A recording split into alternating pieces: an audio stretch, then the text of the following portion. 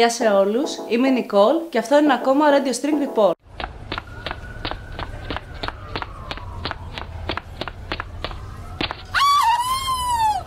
Τι κάνεις εκεί, ασέτο string. Όχι string. Radio string.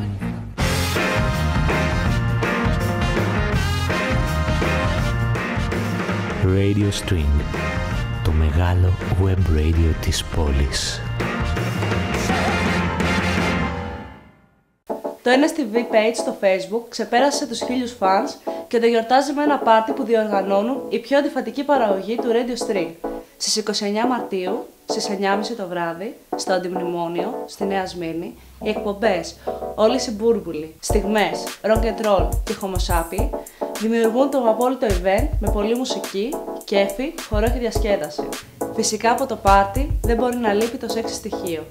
Έτσι θα έχουμε μαζί μας ένα ιδιαίτερο show από το κορίτσι του Venus Privé, την Αντιγόνη, που με απλά λόγια σημαίνει pole dancing.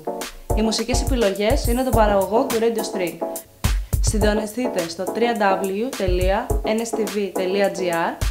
κάθετος Radio String και ακούστε τις εκπομπές για να κερδίσετε δώρο για το πάρτι. Until then, όχι string, Radio String.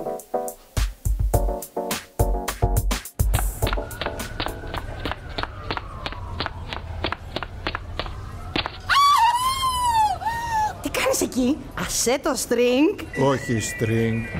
Radio string.